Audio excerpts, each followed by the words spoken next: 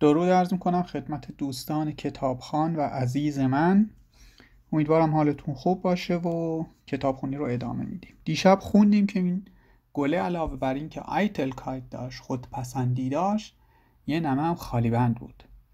حالا مچش گرفته شد. اونجایی که می‌خواست بگه جایی که قبلا بودم خیلی بهتر بود. الان بدشانسی آوردم افتادم تو سیاره تو. حالا میگه بشمت شرمسار از اینکه sich خودش رو bei einer so einfältigen Lüge از یک همچین دروغ زایعی در واقع می‌خواد بگه ولی اینفلتیش معنای زود باور کند ذهن ضعیف یه همچین مفهومی داره اینفلتیگن لوگه یعنی یک دروغی که به این راحتی مچش گرفته شد اتخپن سولسن ببینید فعل تخپن دقیقا معنای مچ گرفتن توی خالی بندی میده. یا اینکه قافل گیر کردن توی فیلم های جنگی اگر ببینید میگن ما باید اونا رو اتخاب می‌کنیم. یعنی قافل گیرشون کنیم. ولی حالا میگه یعنی خالی بس مچش گرفته شد اتخاپن شد. ولی خودش تو لاسن کرده. یعنی لاسن کرده در واقع اجازه داد که مچش گرفته بشه با اون خالی بندیش. حتی زی zwei oder dreimal gehustet دو یا سه بار سرفه کرد هوستن گهوستت اوم تا اینکه den kleinen Prinzen حالا تو این نوشته باید در واقع اینا بینشون فاصله باشه اشتباه تایپی داره. تا اینکه مسافر کوچولو را Unrecht zu setzen. Unrecht zu setzen یعنی اینکه بگی به گردنش گناه رو بندازی. دقیقا این رو حفظ کنین که میگن Unrecht تو زتسن دقیقا از همون کلمه رشت حق میاد یا حقوق و اون رشت زتسن به گردن کسی انداختن. همینجوری حفظش کنید. بعد میگه که این اگه اشتباه نکنم مسافر کوچولو میگه که دوند شیم اون تجیر براتون درس قبل گفتم. آهان نه ببخشید اینو گل میگه. گل میگه که دوند شیم این راستی این دیوار من چی شد؟ این دیوار محافظ من تجیر من چی شد؟ بعد مسافر کوچولو میگه ich wollte ihn gerade holen. می‌خواستم همین الان براتون بیارمش. Aber sie sprechen mit mir. اما داشتید با هم حرف می‌زدین. Dann hatte sie sich neuerlich zu ihrem Husten gezwungen, um ihm trotzdem Gewissensbisse aufzunotigen. خب چرا من اینو اینجوری خوندم چون یه جمله خیلی آلمانی و دشواریه میتونم بگم بعد اون گله زی خودش رو نایرلیش یه جورایی مجددن به صرفه انداخت. zu ihrem Husten gezwungen یعنی اجبار کرد که خودش رو صرفه بندازه. یعنی خودش رو به صرفه اجبار کردن. چون می‌دونید فعل زوین گن یعنی اجبار کردن مجبور کردن. و اینجا میگه که خودش رو به اجبار به صرفه انداخت. یعنی صرفه زورکی کرد. خودش خودش رو به صرفه انداخت. که؟ که چی بشه؟ اوم تا اینکه ایم به مسافر کوچولو منظور. trotzdem با وجود اینکه gewissens بیسه. gewissen بچه ها دقیقا معنای وجدان میده. بیسه از فعل بایسن میاد یا نیش گاز گرفتن. همه اینا رو مفهوم داره. ولی به هم که می‌خواد بچسبه موقعی که می‌خوان بگن عذاب وجدان gewissens بیسه میگن که عذاب وجدانش رو aufzunotigen فعل aufnotigen فعل aufnotigen یعنی کسی را مجبور کنن به یک کاری. نوتیگن اجبار کردن. آف نوتیگن یعنی یک اجباری رو بندازی رو کول یه نفر. آفش کنی براش. اوکی؟ پس این میشه مجبور کردن که عذاب وجدان مسافر کوچولو رو انگاری بهش بده که مثلا چرا مچ منو گرفتی؟ این کار درست نبود مچ منو گرفتی. خیلی فازش هموطنی می‌زنه این گله. اوکی ادامتا میگه so hatte der kleine Prinz trotz des guten Willens seine Liebe rasch an ihr zu zweifeln begonnen. این جملهش خیلی قشنگه. میگه که به این شکل مسافر کوچولو trotz des guten Willens seine Liebe با وجود مقاصدی که از عشقش داشت با وجود این همه عشقی که به اون گل داشت مجبور می‌خواست اینو بگه غش خیلی سریع سریع تند an ihr zu zweifeln begonnen. Zweifeln یعنی شک کردن مشکوک شدن بگونن شروع کردن. میگه با همه عشقی که به اون گل داشت با همه اون حسن نیت اون عشقی که تو اون واقعیتی که تو اون عشقش بود خیلی زود کم کمک شروع کرد به شک کردن به اون عشقش. ihre belangenlose Worte کلمه belangenlos دقیقا معنای بی اهمیت بی دلیل بی بی اهمیت. دقیقا بزنیم بی اهمیت باشه. Belang یعنی اهمیت belanglos یعنی بدون اهمیت. اون حرفای بی اهمیت می‌خوای بگه مثل توی فارسی خودمون میگیم صرف حرفاش صد من یه غازه یعنی بی ربطه چرت و پرته. میگه با اون حرفای بی ربطش رو bitter ernst genommen حرفاش رو خیلی جدی گرفته بود. ببینید ernst نیمن یعنی جدی گرفتن. مثلا یه کاری می‌کنین میگین که می‌خوایم این شوخی کردم باید. با جدی نگیر میگین نیم دست نیش ernst das war nur ein خیلی جدی نگیر شوخی بود. بعد میگه که حالا این حرف اون حرفای صدمنی غاز این گله رو حسابی جدی گرفته بود اون war sehr unglücklich geworden و خیلی ناراحت شده بود خیلی دمق شده بود. حسابی حالش بد شده بود unglücklich شده بود. Ich hatte nicht auf die hören sollen اون مسافر کوچولو الان داره به راوی میگه میگه من نباید به حرفاش گوش می‌دادم. Gestand er mir eines Tages.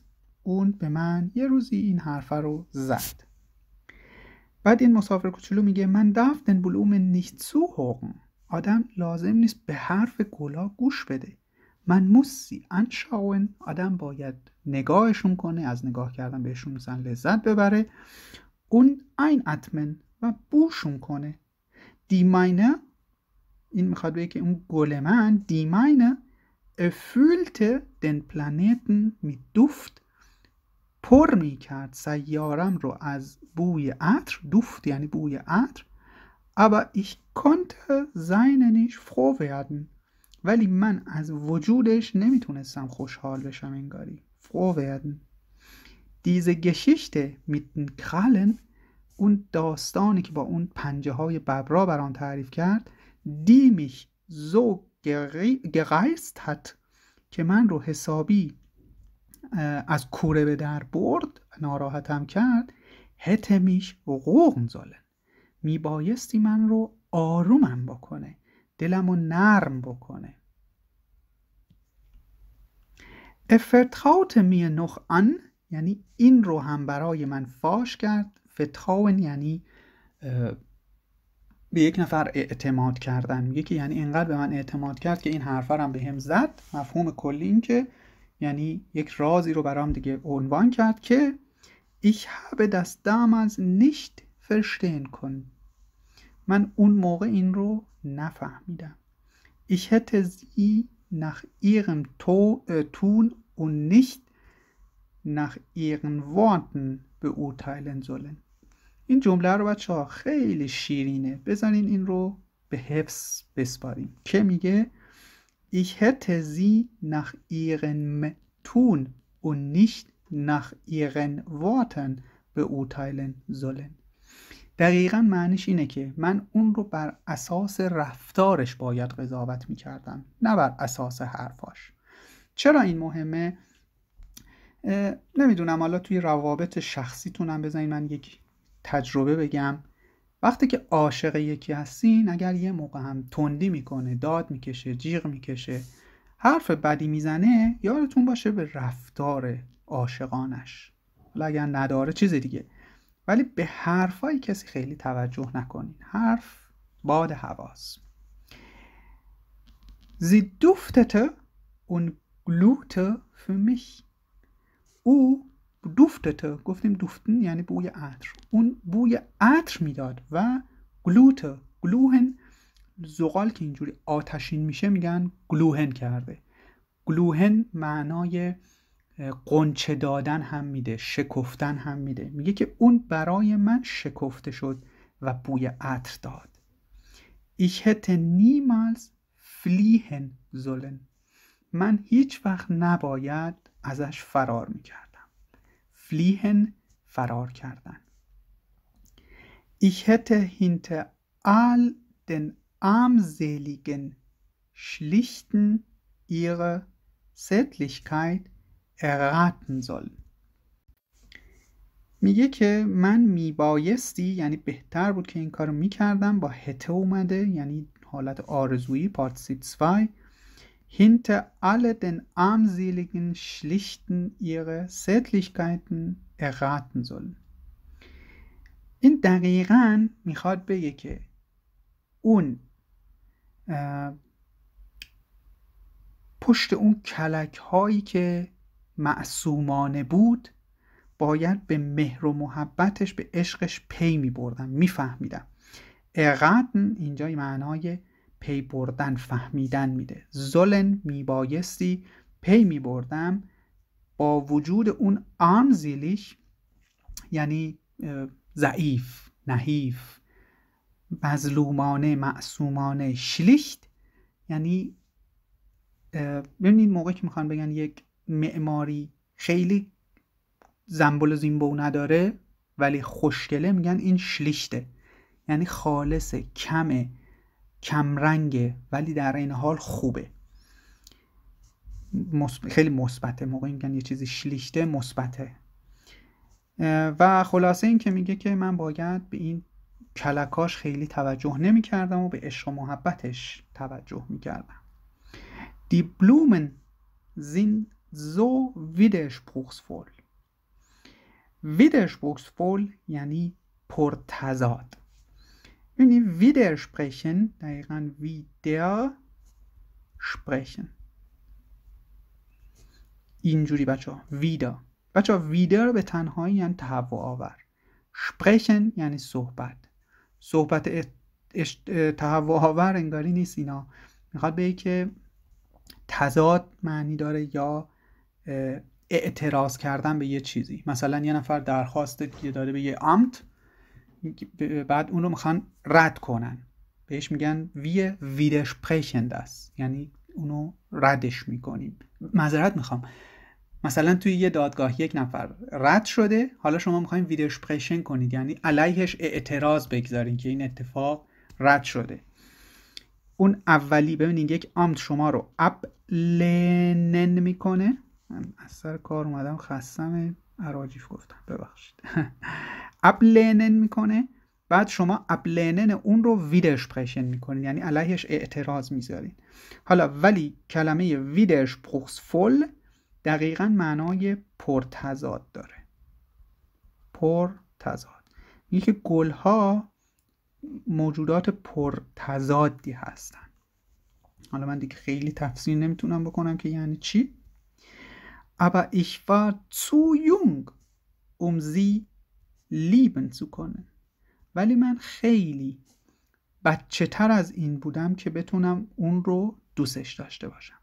ولی zu jung رو من میام اینجا براتون بیشتر ترجمه می‌کنم میگم خیلی خام بودم. انگاری بگم من, من خامتر از این بودم که اون رو دوست داشته باشم یا راه دوست داشتن اون رو فهمیده باشم. این جمله خیلی از اینجا دیگه تقریبا خیلی تفسیریه خیلی آسون نیست فهمیدنش.